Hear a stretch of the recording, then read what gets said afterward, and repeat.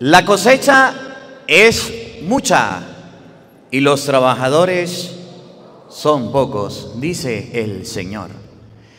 En el nombre del Padre y del Hijo y del Espíritu Santo, el Evangelio del día con el Padre Marcos Galvis, hoy con Doris compartiendo la palabra de Dios aquí en los Estados Unidos. ¿Dónde quedamos?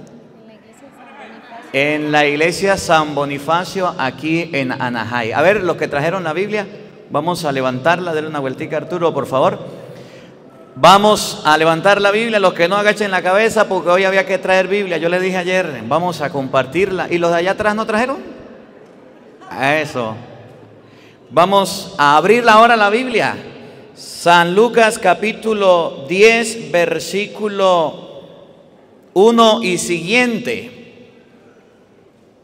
Hoy la palabra de Dios nos va a enseñar qué significa ser misioneros. Todo bautizado tiene una responsabilidad ante Dios. ¿Saben cuál es? Predicar, evangelizar, misionar, llevar el mensaje. Esa no es mi tarea sola, no es la tarea de Doris, es la tarea de cada uno de nosotros. Evangelizar, llevar la palabra, llevar el mensaje. El problema es que nosotros lo estamos haciendo. ¿Quién sabe si usted lo está haciendo en su casa? ¿Quién sabe si usted lo está haciendo en su familia? Si no lo está haciendo, es el momento de empezar. Y Jesucristo nos va a colocar hoy en el Evangelio que cuando usted se ponga a predicar se va a encontrar lobos, gente grosera, gente que no acepte, ateos, que le digan a usted, yo no quiero saber de Dios, yo no quiero que me hable de Dios. ¿Los han encontrado o no? Cuando vayamos a hablar de Dios, son pocos los que quieren hablar de Dios. Decimos, yo de Dios no quiero hablar, yo no quiero rezar, yo no quiero orar. Son pocos. Ustedes pueden ver en el mundo cuántos sacerdotes existimos. Y puede ver en el mundo cuán pocos nos dedicamos a evangelizar y a llevar la palabra de Dios. La palabra de Dios nos va a enseñar también que el misionero debe ir a todos lados y predicar. Hoy vamos a ver las características de un misionero para que usted se anime. Si nadie lo ha contratado, hoy le vamos a dar trabajo. Si nadie lo ha invitado, hoy lo vamos a invitar. Evangelio de San Lucas, capítulo 10, versículo 1. Oído al tambor, paren la oreja, los buenos. Y llegó la hora. El Señor esté con todos ustedes. Mis hermanos, les anuncio la buena noticia de nuestro Señor Jesucristo, según San Lucas.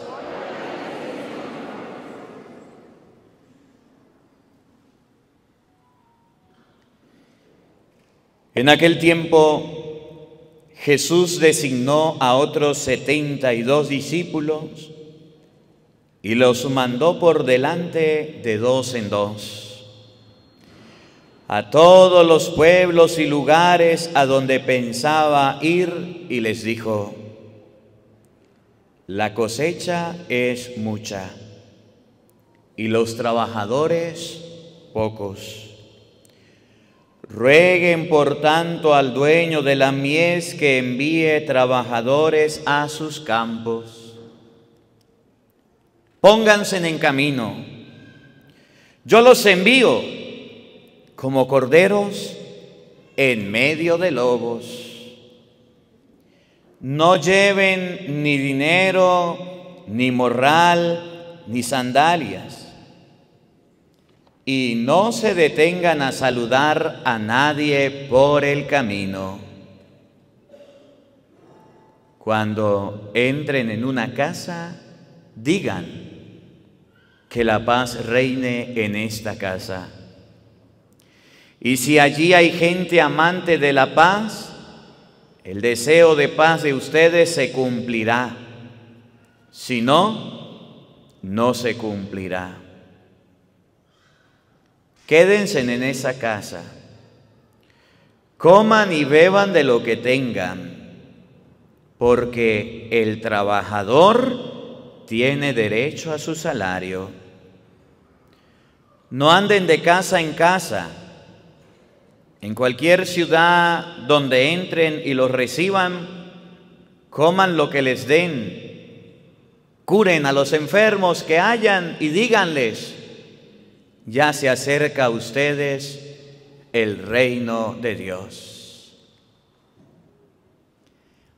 Palabra del Señor. Digan todos después de mí, ven Espíritu Santo, llena nuestros corazones de tu luz, de tu sabiduría, para interpretar tu palabra, no como palabra humana, sino como palabra de Dios que es en realidad y que ejerza su acción en nosotros los creyentes. Amén. Tenga la bondad de sentarse, por favor.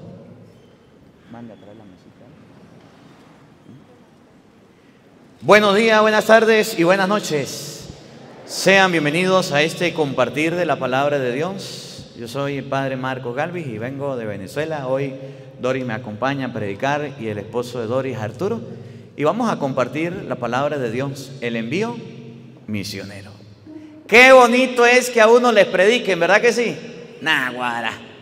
Qué bonito es cuando uno se encuentra con gente que le habla de Dios, que le evangeliza y uno lo entiende, ¿verdad que sí?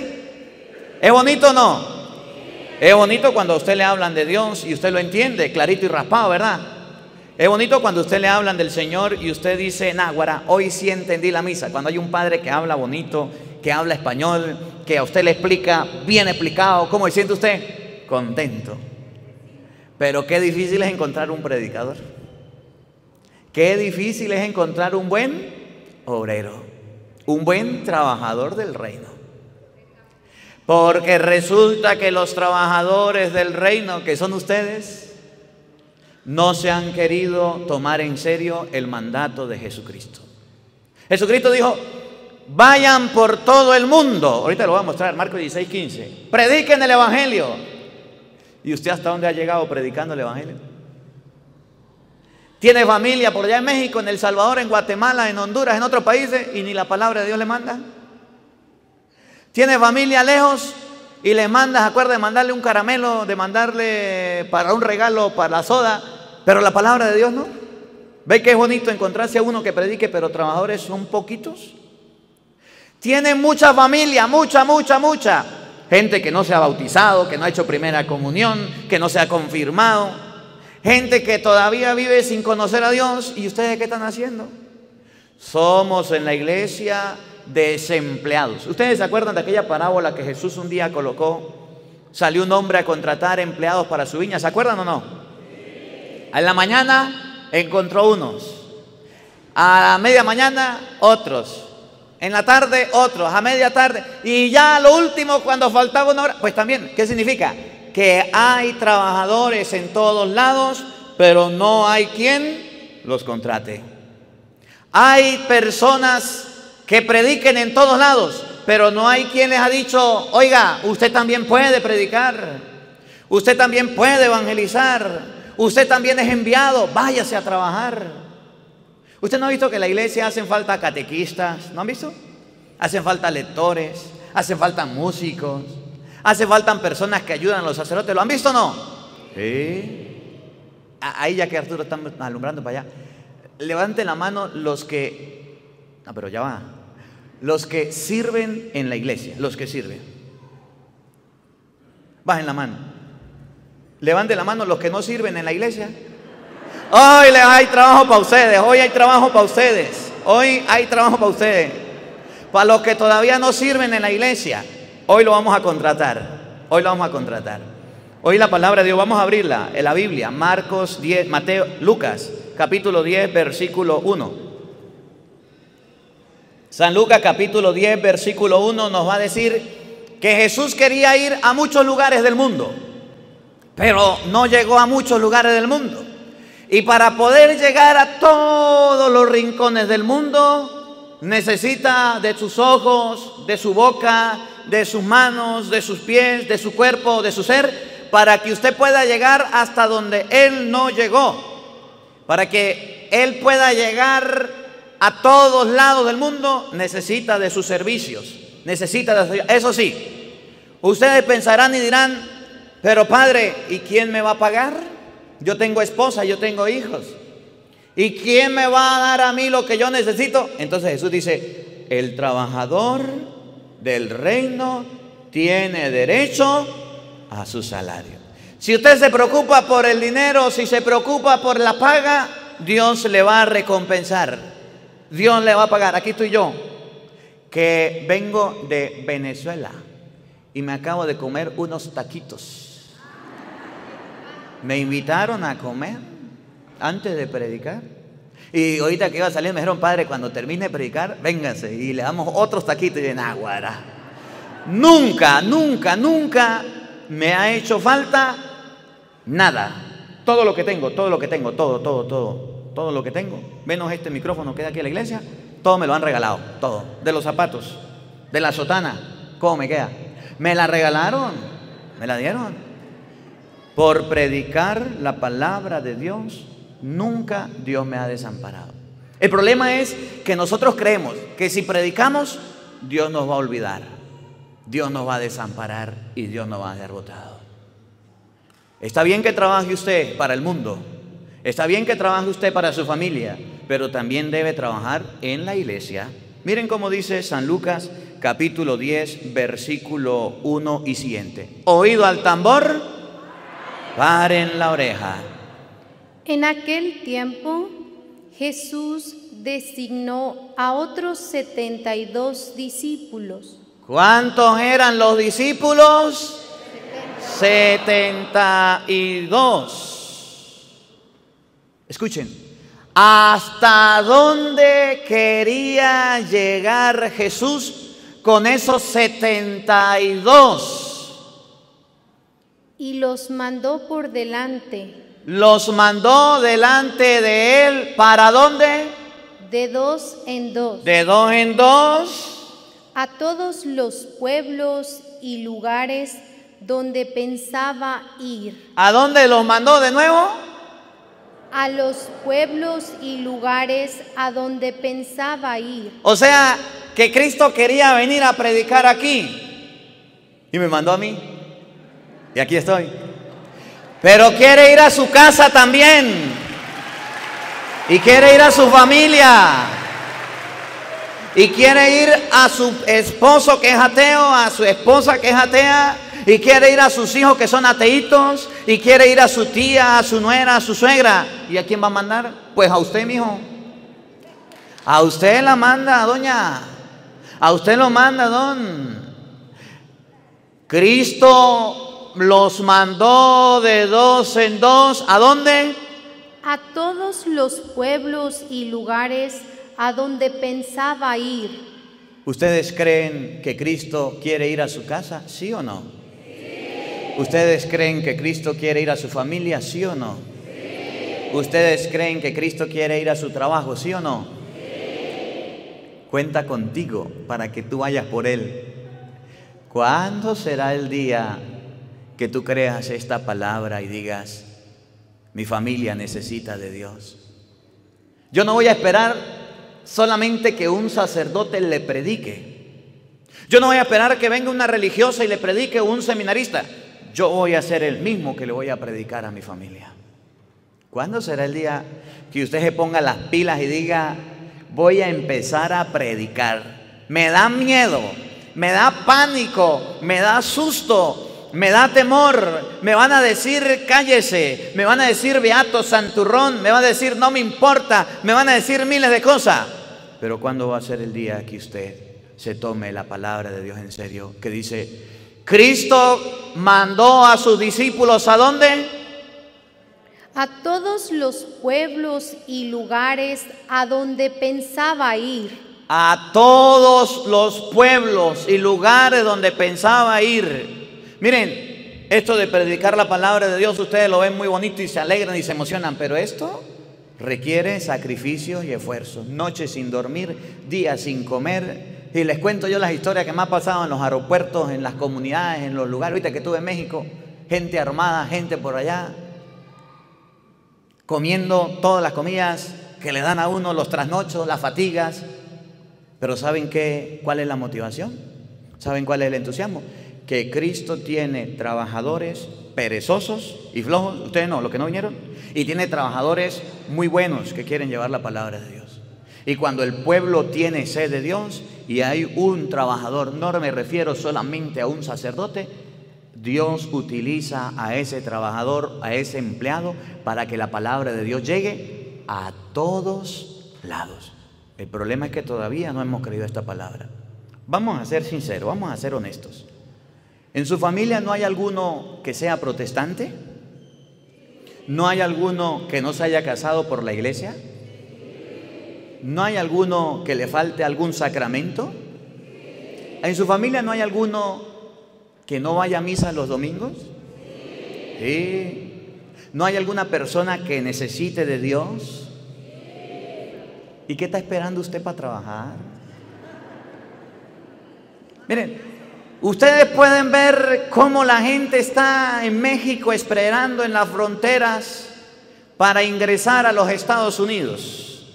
Hay miles de migrantes y oramos por ellos. Miles de personas teniendo deseo de llegar aquí para venir a trabajar y hacer dinero y enviar a su país. ¿Y cuánto les es difícil poder ingresar? ¿Y cuánto les es difícil poder llegar aquí? Y me llaman y me dicen, Padre, ayúdame, ¿qué hago? ¿Cómo hago? ¿Qué puedo hacer yo? Pero ustedes se dan cuenta que en su familia también se necesitan trabajadores, que se necesitan obreros, que se necesitan personas que hablen de Dios. Y qué cosas más bravas con nosotros que para llegar aquí luchamos, peleamos, vendemos, nos endeudamos y hacemos de todo y llegamos aquí, venimos y empezamos a hacer una vida y se empieza a realizar y empiezan a trabajar y Dios los bendice y le da casa y le da carro y le da familia. Bendito sea Dios por lo que han logrado, bendito sea Dios. Lucharon por estar aquí. Pero ¿usted ha visto a alguien luchando por convertir a su familia? ¿Usted ha visto a alguien luchando por salvar el alma, la familia, el hogar? ¿Salvar los suyos? Luchamos por llegar aquí para hacer dinero. Pero no luchamos porque la familia se convierta, porque la familia crea en Dios, porque el hogar cambie la mente y el corazón. Por eso, primera de Timoteo, capítulo 2, versículo 4, muestra cuál es el querer de Dios. Y ojalá, vamos a aprendernos esta cita hoy. Primera de Timoteo, capítulo 2, versículo 4. Se la voy a preguntar varias veces para que usted la, se la aprenda y para que usted la diga. ¿Cuál es la cita? Primera de Timoteo, capítulo 2, versículo. ¿Cuál es el querer de Dios con los cristianos? ¿Qué es lo que Dios quiere contigo y qué es lo que Dios quiere conmigo? Y por eso le dije al inicio, usted hoy va a salir empleado. Usted hoy va a salir de aquí con trabajo. Eso no le dijeron, ¿verdad? Eso no le dijeron. Pero hoy yo le voy a colocar un trabajo, una tarea a todos. Una tarea a todos. No hagan como la doña que fue a hablar conmigo allá en Venezuela y me dice, estaba haciendo los, los, los debates, el que se supiera las citas bíblicas de tú a tú, les daba la Biblia, le daba el rosario. Y se acerca una señora y me dice, Padre, regáleme una Biblia. Y yo le digo, sí, pero dígame tres citas bíblicas. Digo, ay, no, padre, es que yo soy muy tapadita, a mí no me cabe nada, padre. Yo no me aprendo ninguna. Y yo le digo, pues no se la voy a regalar, porque usted tiene la condición, era, para regalarle una Biblia, apréndase la cita bíblica. Y así me insistió mucho hasta que un día le dije, bueno, está bien, señora, yo le voy a preguntar algo. ¿Cuál es su número de cédula? El ID. 14 millones, yo no sé. Ta, ta, ta, Señora, ¿cuál es la clave suya? Ustedes saben la clave suya del banco de la tarjeta. yo, sí, pero no la voy a decir. ¿Y sus hijos le ayudan a ustedes? Sí. ¿Y ustedes saben el número de teléfono? Yo, claro, padre, yo lo llamo para que me mande la platica, claro. ¿Y cuál es el número de teléfono? Como tres números de teléfono. Yo le dije, señora, ¿y usted se aprende tan rápido un número de teléfono, un número de cédula, un número de tarjeta? Y me va a decir a mí que no es capaz de aprenderse una cita bíblica? Estudie. La doña estudió y le di la Biblia. Le di la Biblia. Pero para las cosas de Dios nosotros somos así. Ay, no quiero, Padre. Es que a mí no me entra nada. Es que yo soy brutico, yo soy tapadito. No, no, Padre, yo no, no, no soy burrito, soy burrito, soy burrito, soy burrito. No. Lo que pasa es que no hemos sabido todavía cuál es el querer de Dios. ¿Cuál es la cita que le dije que aprendieran? Primera de Timoteo, capítulo 2, versículo 4.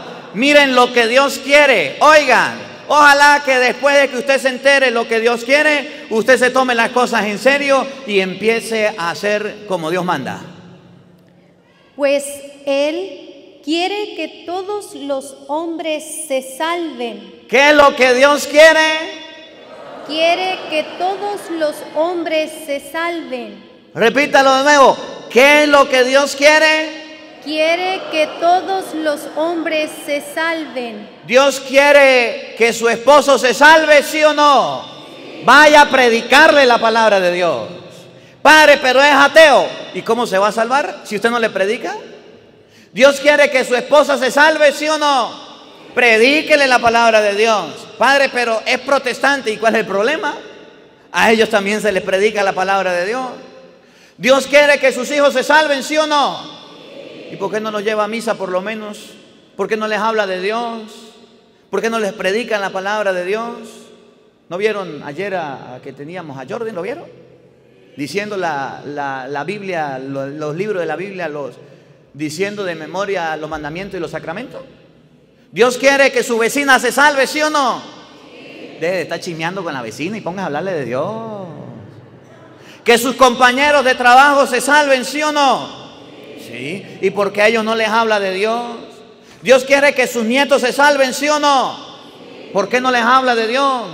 El querer de Dios, el querer de Jesucristo es que todos los hombres se salven. Y para que su familia se salve, necesita de una mano, necesita de un obrero, necesita de un buen trabajador que tenga guáramo, que tenga valor, que tenga deseo, que diga de hoy en adelante, yo voy a ser ese trabajador incansable por el reino de los cielos. En mi familia nadie cree en Dios, me voy a hacer un propósito.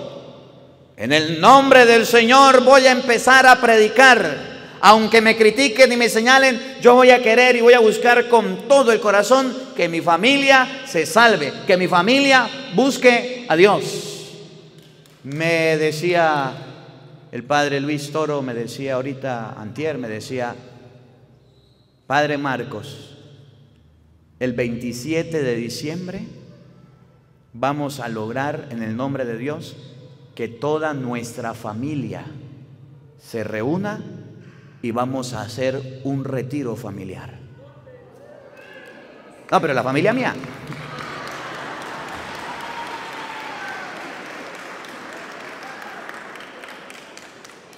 El padre en Venezuela me decía, vamos a hacer, invite a su mamá, invite a su papá, invite a, sus hermanos, invítelo a todos y vamos a reunirnos todos en un lugar y vamos, a lo mejor subamos las la enseñanzas si Dios quiere, para que ustedes la vean. Y vamos a hacer un retiro familiar. Miren qué bonito. ¿Usted alguna vez se ha preocupado por llevar a su familia a un retiro familiar? ¿Usted alguna vez se ha preocupado porque su familia vaya a una convivencia todos juntos? ¿Usted alguna vez se ha preocupado porque los suyos todos participen y se acerquen a la iglesia? ¿No es usted de las personas que sale a la misa y deja a sus hijos durmiendo? Ay, padre, pobrecito, mi niño está durmiendo. Hoy es domingo, es el día de descansar. Se para a las 12 del día, la misa a las 8 muy temprano.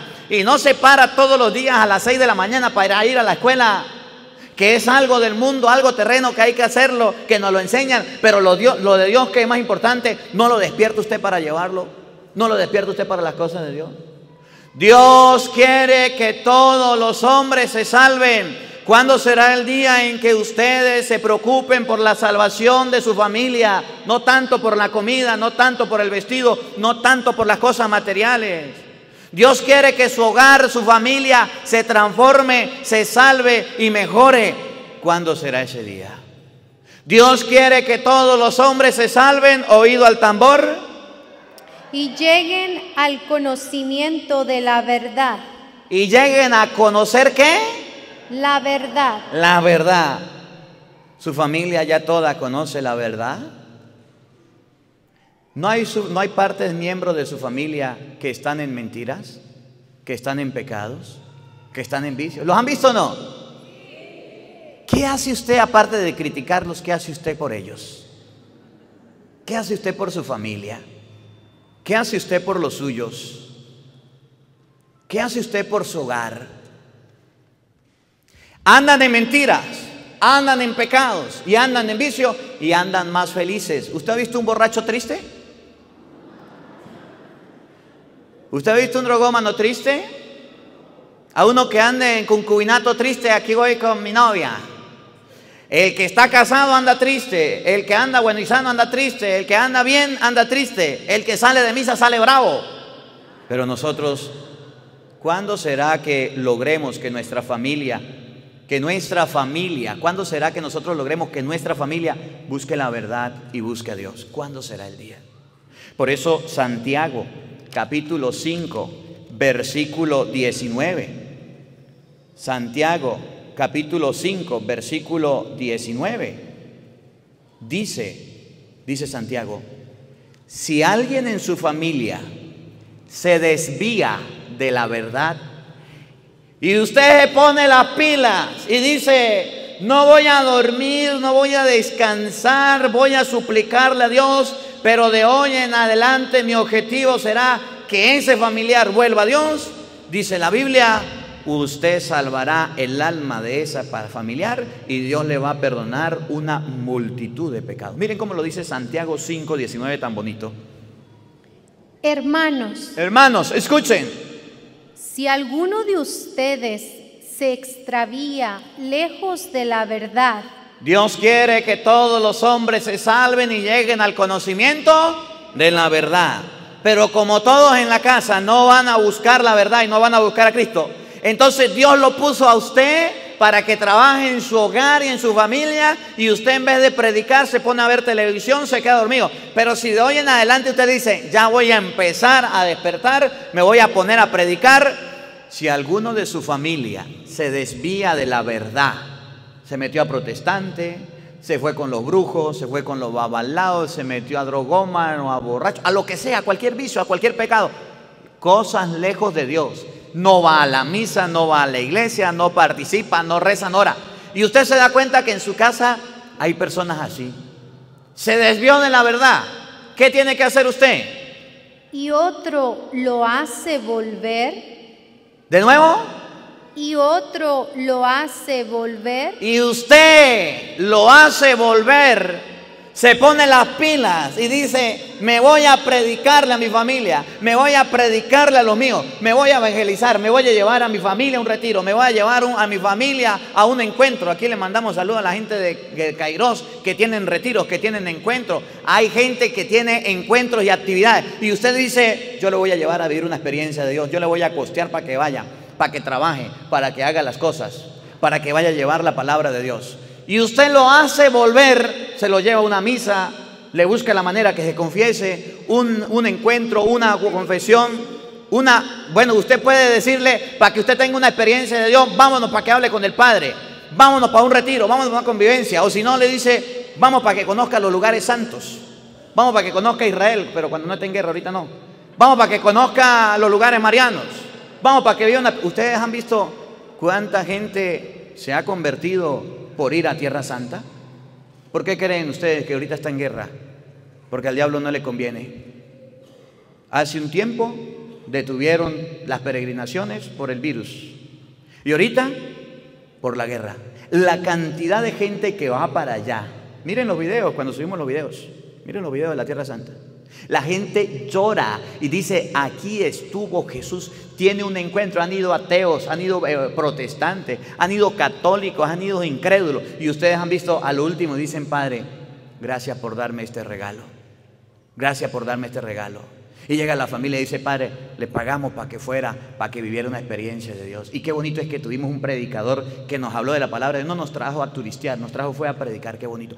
Y usted ve que ese se pierde y usted le dice, vámonos a las cosas de Dios. ¿Saben cuál es el regalo? Oigan. Salva un alma de la muerte. ¿Cómo? Salva un alma de la muerte. Por eso Jesucristo llegó a decir, hay más alegría en el cielo por un pecador que se convierte que por 99 justos que no necesitan arrepentimiento. Salva, ¿ustedes saben qué es salvar un alma de la muerte? ¿Ustedes saben qué es salvar un alma del infierno? Una, una. Jesús, Santiago, la palabra de Dios nos dice, lléveselos a todos, sálvelos a todos y montón. Que usted se preocupe por uno, dice Jesucristo, esa es la alegría más grande que puede haber en el reino de los cielos, porque le robaron un alma a Satanás, porque le quitaron un alma al diablo. Y usted puede ver más adelante el Evangelio cuando dice, y vi al diablo que caía del cielo como un rayo, porque se predicaba la palabra de Dios. ¿Cuándo será el día que usted se preocupe por salvar un alma de la muerte? Por salvar un alma del infierno, por arrancársela al diablo, porque ese se convierta. ¿Cuándo será ese día? Muchas misas vas, muchas lecturas bíblicas, muchas novenas haces, muchos rosarios y sígalos haciendo, pero te falta algo, trabajar por salvar almas de la muerte, almas del infierno. ¿Salvas un alma de la muerte? y hace olvidar muchos pecados. Y esos pecados se olvidan. Dios dice, este me ayudó, es un pecador, no es un santo, pero yo voy a olvidar esos pecados que tenía, esas cosas malas. Dios cambia nuestras cosas malas por algo bueno que tengamos. ¿Cuándo será ese día que usted se preocupe por salvar un alma de la muerte? porque un pecador se extravió y usted le predique la palabra de Dios. Yo les hago una pregunta. ¿Alguna vez usted ha enseñado a alguien a leer la Biblia? ¿Alguna vez le ha regalado a alguien una Biblia y le dice, tome, léase esta Biblia, yo se la regalo? ¿O alguna vez has obsequiado algún santo rosario y has explicado la manera de rezarlo? ¿Alguna vez te has sentado por lo menos con un niño y le has dicho, venga para acá, vamos a leer aquí la palabra de Dios. Ustedes se preocupan porque sus hijos aprendan a trabajar y eso es bueno, háganlo. Que no sean flojos y que no sean perezosos, pero no es lo más importante. Ustedes se preocupan por la universidad, por la escuela de sus hijos, en la mañana va y los llevan para que estudien, para que se formen y si se enferman los llevan al hospital. Eso hay que hacerlo, eso hay que hacerlo. Pero alguna vez se sienta con su hijo, vamos a leer la Biblia. Yo quiero que su alma no se pierda, yo quiero que su alma se salve. ¿Vamos a colocarla? Entonces Jesús hoy en el Evangelio dice que él quería ir a muchos lugares, quería ir a muchos sitios a predicar y a llevar la palabra de Dios. Y le dijo a los apóstoles, yo no alcanzo para todos. Agarró a 72 y le, los mandó a los lugares y sitios donde él pensaba ir. ¿Y saben para dónde quería ir Cristo? Marcos capítulo 16, versículo 15. Cristo quería ir a predicar a todos lados. Cristo quería llegar a la que la palabra se difundiera por todo el mundo. Pero necesita trabajadores que salven un alma de la muerte, que salven un alma del infierno, que salven a un familiar, que lleven a una persona las cosas de Dios. Oigan lo que dice Marco 16, 15. Y les dijo, para ustedes que vinieron hoy aquí, que creían que se iban a ir sin trabajo, pues yo les pongo. Que creían que solamente venían a escuchar la palabra, no, no, de ahora en adelante usted tiene trabajo. Y el día en que nos muramos, si usted no lo hace, yo se lo voy a decir delante de Dios. Yo se los prediqué, yo se los dije. Y fueron a la misa, no lo escucharon, solamente fueron y se emocionaron un momento, pero no hicieron caso. Y créame que yo soy el primero en decirle, mire Señor, yo estaba trabajando yo iba de Venezuela aguantando hambre, calor, sueño, fatiga, cambio de horario, este, de todo por ir a predicar. Y un día me los encontré, y por esto los grabé por si acaso. Me los encontré, me los encontré y le dije que había que trabajar y que había que evangelizar y que la tarea era por todos lados y que había que salvar las almas para ti. Y ellos escucharon, les entró por un oído y les salió por el otro. Yo lo voy a hacer. Acuérdense. Miren la tarea que tenemos todos. Marcos 16, 15. Y les dijo, vayan por todo el mundo. Vayan por dónde?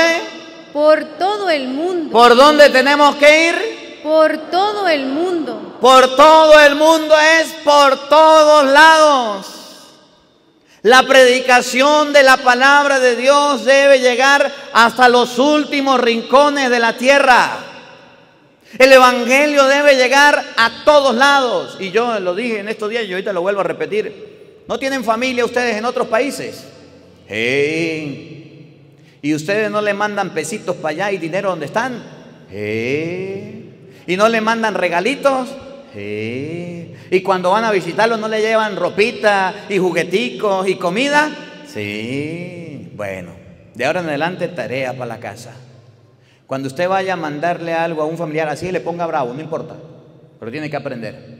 Dígale, le voy a mandar para que se tome la soda, le voy a mandar para la torta o para el agua, pero primero le mando la palabra de Dios. Usted la descarga, el Evangelio del día, le dice, ahí le mando una hora de predicación. Y dígame de qué habló el Padre.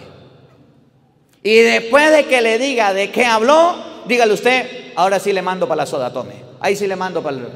Pero me está manipulando, me está chantajeando. No, yo le estoy predicando, porque la palabra de Dios dice que ustedes tienen que llegar a su familia en México. Y si no pueden llegar porque no pueden ir y va una vez al año, dos veces al año, o de vez en cuando, o no ha ido mucho tiempo, el dinero le llega, pero la palabra de Dios no llega. Y si usted no sabe lavar, préstenos la batea, que nosotros lavamos por usted. Si usted no sabe predicar, comparta el Evangelio. Si usted no sabe llevar la palabra de Dios, si no sabe predicarla y enseñarla, comparta los videos y ahí esa palabra va a llegar. ¿A dónde tenemos que llegar? A todo el mundo. Vayan por todo el mundo. ¿A qué? ¿A qué? ¿A qué? ¿A qué? Vamos a ver, vamos a ver. ¿A qué nos manda el Señor? Ustedes que llegan a México con un teléfono, ustedes que llegan a Guatemala, a El Salvador, a Honduras, a Colombia, a cualquier país. Vamos a ver, Ustedes llegan allá y llevan regalos, llevan caramelos, llevan comida, llevan sodas, llevan torta. Pero vamos a ver si estamos haciendo caso. Cuando usted salga de este país a otro lugar del mundo, ¿qué tiene que hacer si es cristiano? Y anuncien la buena nueva a toda la creación. ¿Qué es lo que debemos hacer? Y anuncien la buena nueva. Anunciar la buena noticia, la palabra de Dios. ¿A quién? A toda la creación. A su papá, a su mamá, a sus hijos, a su tía y además familiares. ¿Se dan cuenta que lo estamos haciendo mal? Usted se va a otro país donde está su familia y lleva el carro full o la maleta full de regalo. Y está bien, es su familia, dele. Claro que sí. Si Dios la ha bendecido, no deje de hacerlo pero no le está predicando la buena nueva.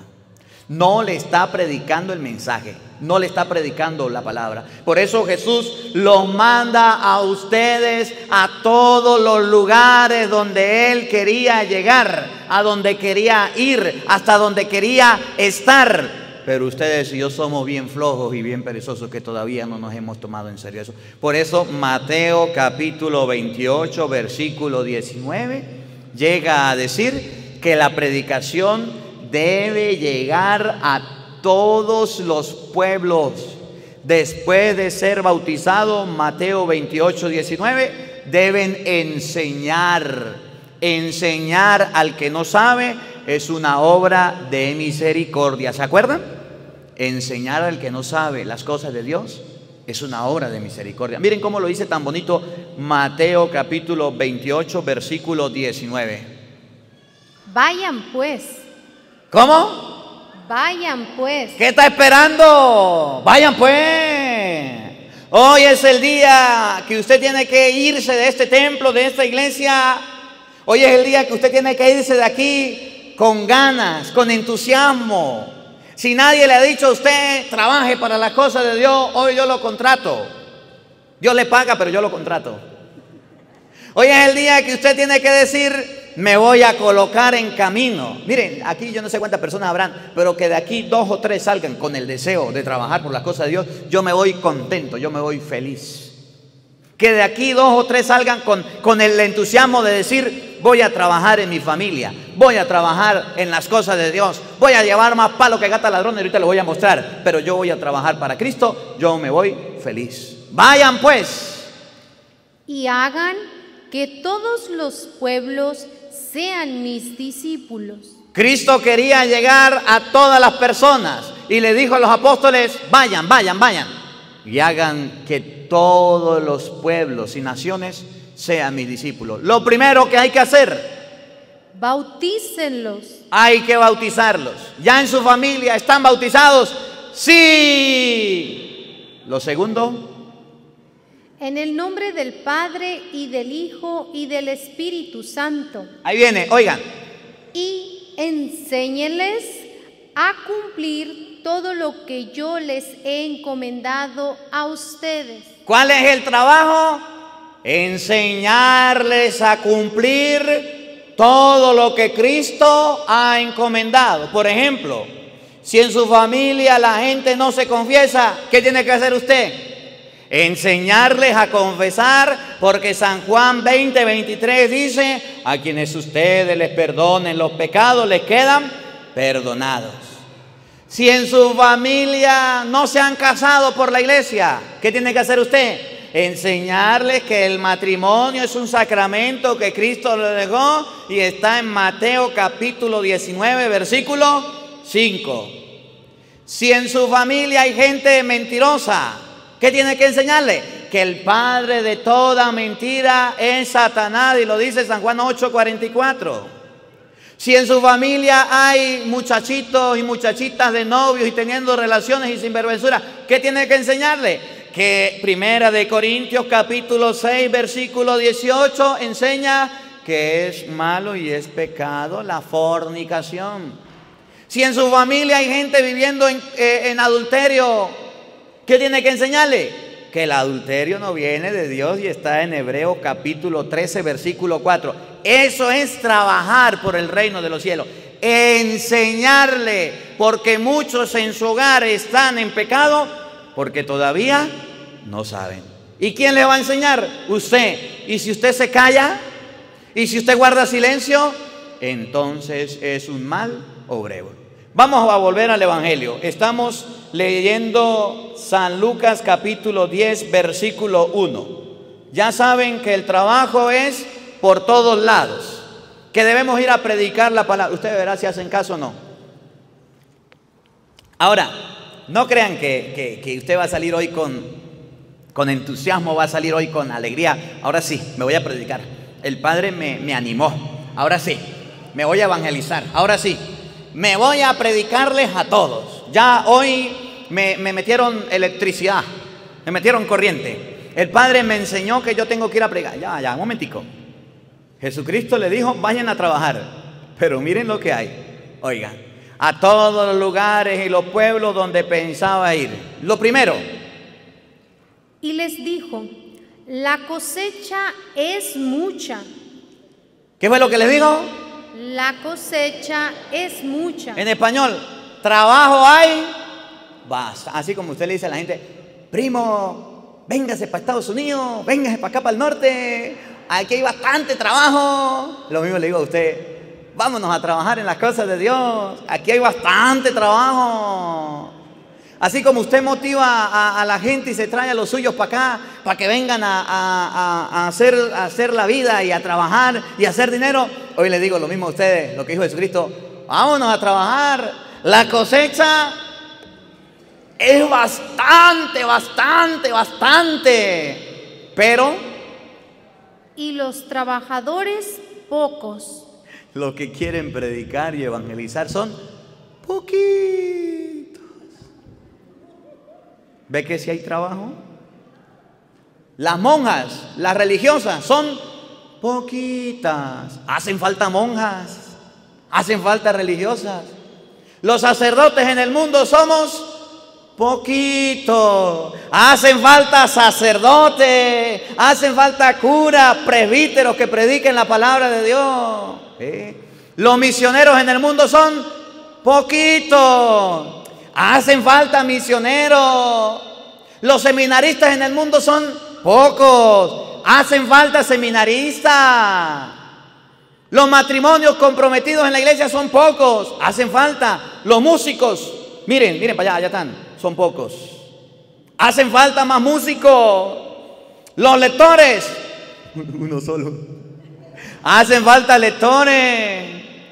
Los, catequistas, son pocos. Hacen falta catequistas. La dice Jesucristo, trabajo hay de sobra. Ustedes querían ver un lugar donde hay bastante trabajo, bastante trabajo en la iglesia.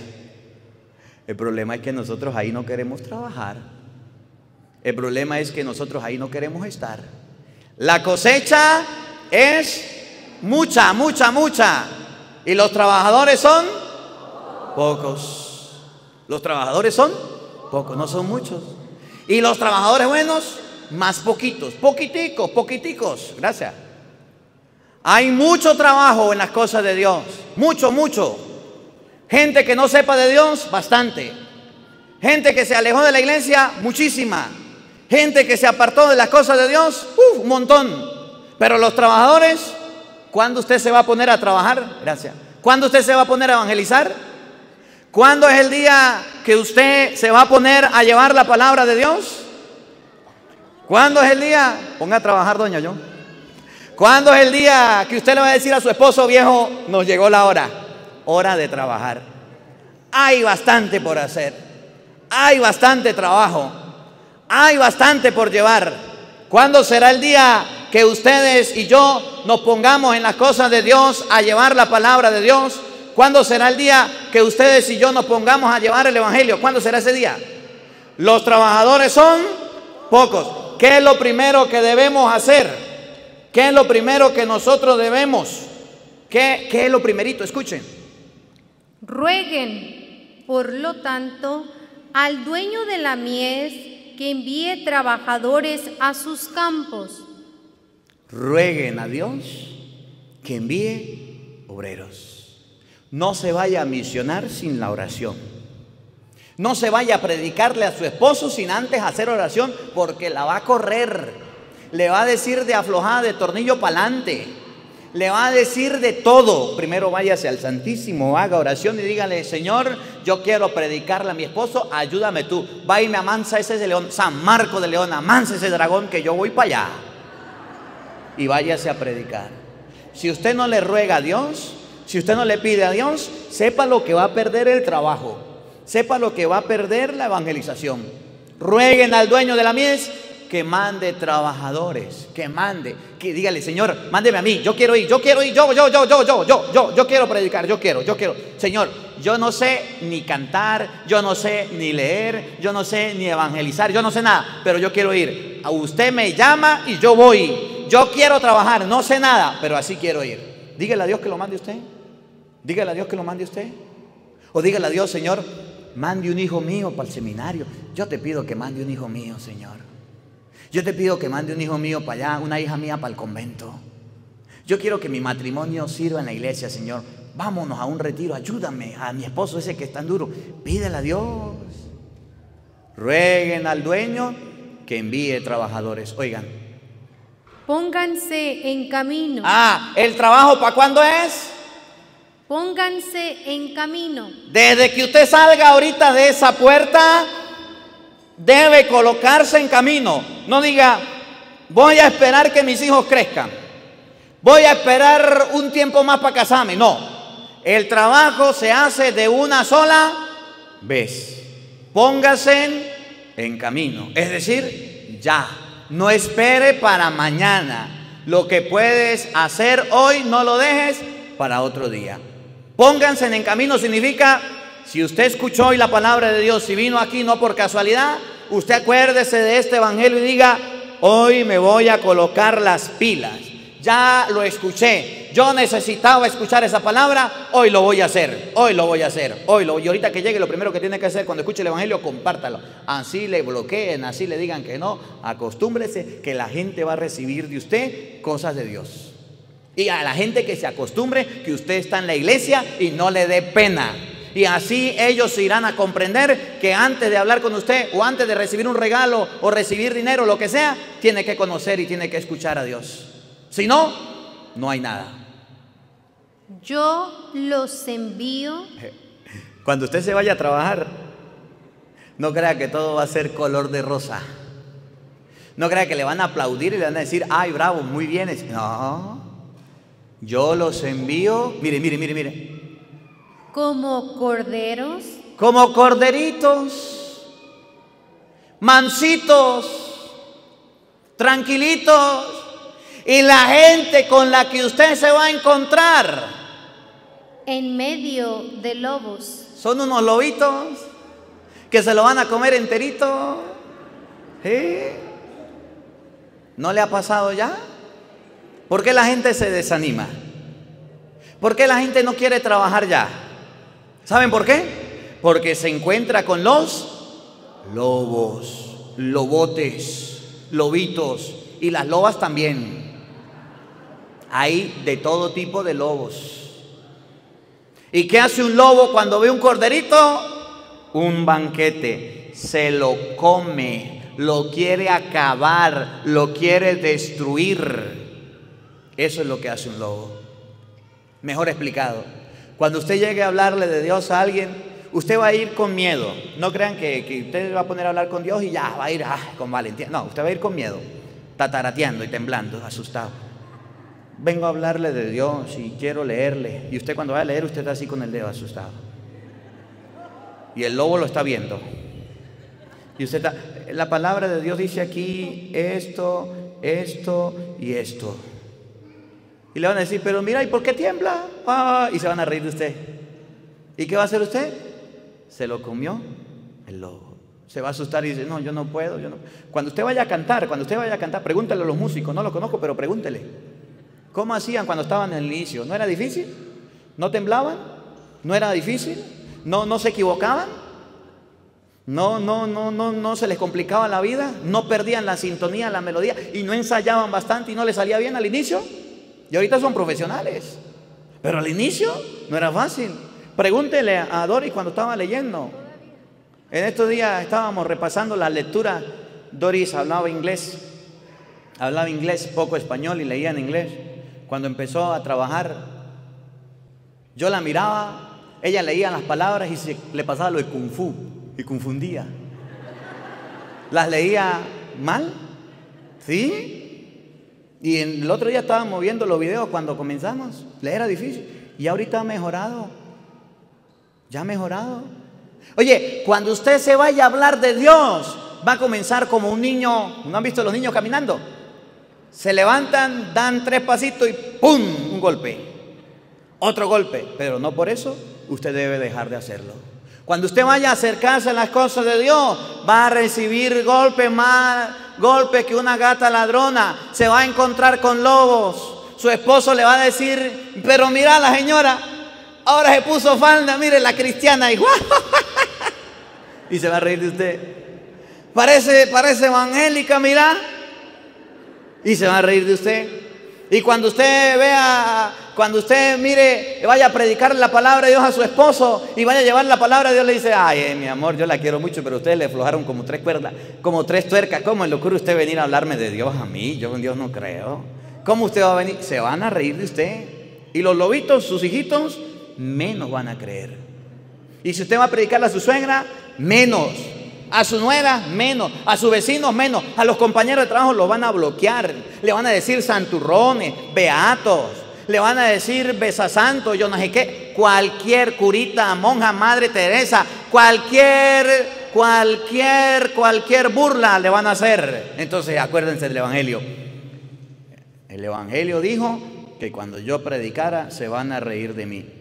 Si no se ríen de usted, y si no se burlan de usted, y si no hacen chistes de usted, y en la familia se van a reír, ahí viene el cura, ahí viene el cura, y usted no es cura, y ahí viene el padrecito de la familia, ahí viene, ahí viene. Ahí sí, el que antes tomaba y ahora no toma, el que antes bailaba pegado y ahora no, el que antes andaba de, mire, mire, andaba con una con otra y ahorita ya dejó, ay, sí, sí, muy santo.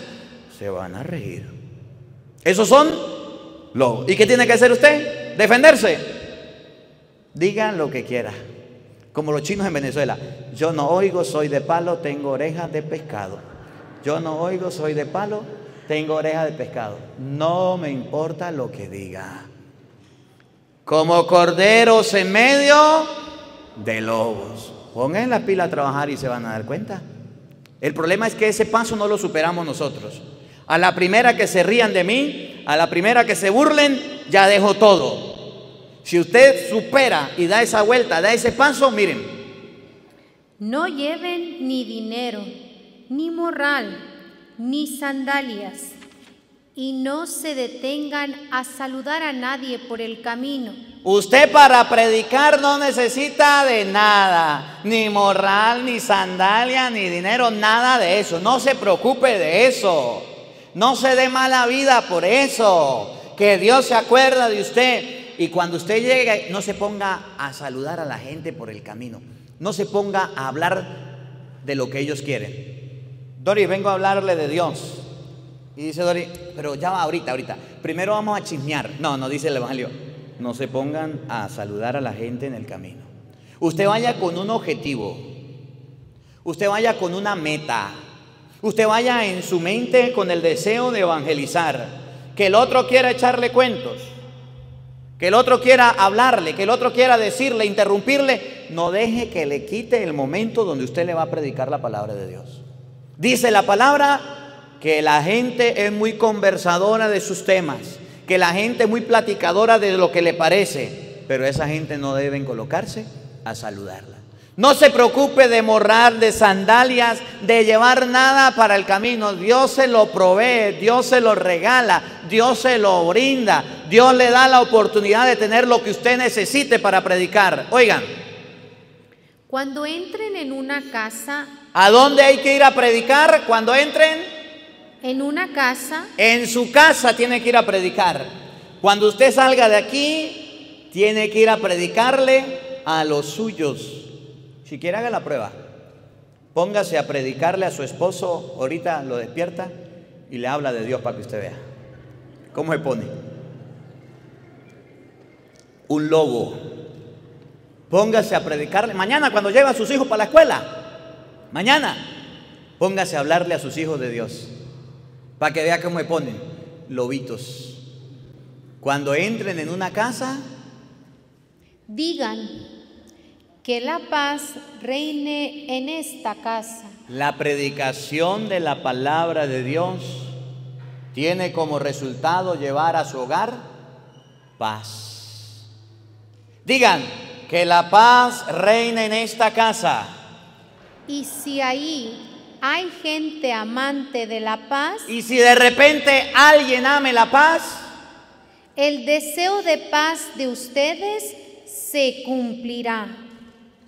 Si no, no se cumplirá. Ese deseo de paz se cumplirá si usted lo lleva. ¿Quiere que en su casa haya paz? Sí, predique la palabra de Dios, pero primero va a haber guerras y lobos que le van a hacer la vida imposible. Pero después de que usted se ponga a predicar, después de que usted se ponga a evangelizar, ese deseo de paz va a llegar. Mire lo que viene, mire, ya vamos a terminar. Oiga. Quédense en esa casa. ¿Cómo? Quédense en esa casa ¿Dónde hay que predicar? En la casa suya de usted, a los de su familia, a los de su hogar, a los de su casa. Quédense ahí predicándole, no dejen de hacerlo. A veces predicamos uno dos días, nos emocionamos, llevamos la palabra y ya, ya no le predico más, ya le evangelicé. Se va por allá y volvió y a este ya se le olvidó todo de lo que le había hablado. Quédense en esa casa significa sean constantes progresen, avancen, no dejen de hacerlo. Quédense en esa casa coman y beban de lo que tengan. No sea exigente ni en la comida ni en la bebida. Coman de lo que les den. Coman de lo que les sirva. Comiencen por ahí. Usted quiere predicar en su familia a la hora de la comida. Bendiga los alimentos. Pídele a Dios. Enseña. Mire, que usted, ¿cuál fue la cita bíblica que le dije que aprendieran? Se me olvidó recordársela. Primera de qué? No.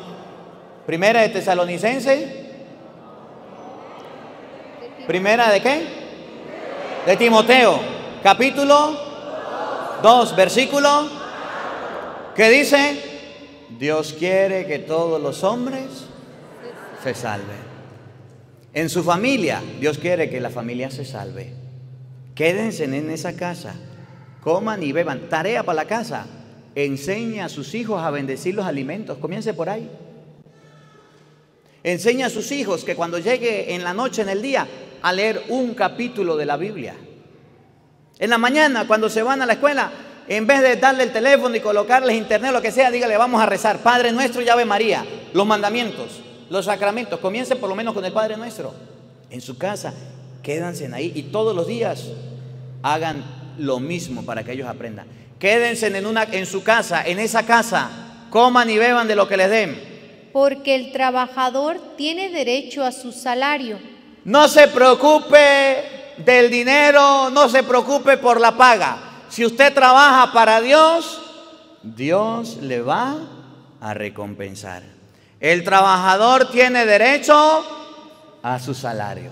De eso no se preocupe, de eso no se preocupe.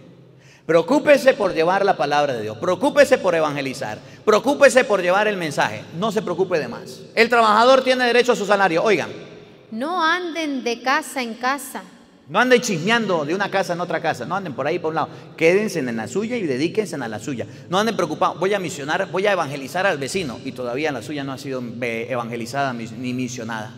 Voy a enseñar a rezar a la abuela de al lado y sus hijos todavía no saben rezar. Oigan. En cualquier ciudad donde entren y los reciban, coman lo que les den. Curen a los enfermos que haya y díganles ya se acerca a ustedes el reino de Dios. Ya se acerca a ustedes el reino. Ese es el mensaje de hoy. Que ustedes y yo nos preocupemos por trabajar para Dios. Adelante la mano los que quieran trabajar. Todos, todos, todos. Ese lo felicito. Si es verdad lo que ustedes están diciendo, sepan que no habrá uno solo que se convierta sino todos ustedes multiplicados por dos y por tres. ¿Usted imagina que nosotros nos propongamos a convertir a nuestra familia? ¿Que nos propongamos a llevar la palabra de Dios? ¿Cuál es el querer de Dios? Primera de Timoteo, capítulo 2, versículo. Dios quiere que todos los hombres, Dios quiere que todos los hombres, ¿usted quiere que su familia se salve? ¿Usted quiere que su marido se salve? ¿Que su esposa se salve? ¿Que sus hijos se salven? ¿Saben qué hay que hacer? Ir a predicar. Por eso siempre les digo, los buenos somos más. Y llegó la hora. Llegó la hora de evangelizar. Ahora hay que cumplirlo. Ahora hay que llevarlo. Que la palabra de Dios habite en nuestros corazones. Amén. El día de mañana, antes de la bendición, estaremos en la iglesia San José, en la puente si Dios quiere, compartiendo la palabra de Dios. Miércoles. Miércoles, 30 minutos de Los Ángeles. Cualquier persona en las redes sociales que quiera ir eh, puede llamar. Puede, puede llamar a, a quién, Arturo. Al número. ¿Cómo es el número? No se lo sabe. Ahorita, ahorita los pongo ahí al final para que usted lo vea. Cualquier persona que quiera participar, estamos en las redes sociales, ahí les pongo el número para que usted lo pueda ver para mañana escuchar la palabra de Dios. Bueno, para mí ha sido muy grato estar con ustedes y compartir con ustedes esta enseñanza. Ojalá, ojalá que lo tomen en serio. Ojalá que de aquí salgan personas a predicar y a evangelizar, a llevar la palabra. Muy bonito que hayan venido, muy hermoso. Pero si por lo menos uno o dos se ponen las pinas a trabajar, me alegraría mucho. Ahí están los videos. Ese video cuando usted llegue en su casa, lo mira, lo comparte a las personas para que pueda tenerlo. Y si usted alguna vez quiere llevar a las personas a, conocer un lugar sagrado, Tierra Santa, lugares marianos, eh, Roma, la peregrinación allá en México. ¿Vamos a ir? Aquí está Doris, aproveche y le dice Doris, deme el número. Ahí 818-599-4056. Y usted lo va a poder, lo va a poder este, tener. Mm, ajá, ahí está Arturo, 626-638-5843. Gracias, muy amable. Ese es para mañana ir para allá a, a compartir la palabra de Dios. Bueno, agradezco al grupo que me invitó. Que Dios le bendiga. Muchas gracias a las personas, al Padre por darme la oportunidad de predicar, a Dor y Arturo por traerme, y a todos ustedes por estar aquí. Vamos a colocarnos de pie para recibir la bendición de Dios en este día.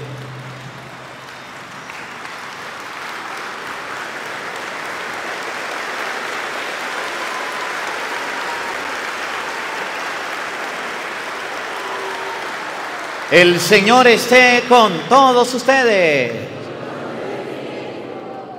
Y la bendición de Dios Todopoderoso, Padre, Hijo y Espíritu Santo, descienda sobre ustedes y les acompañe siempre.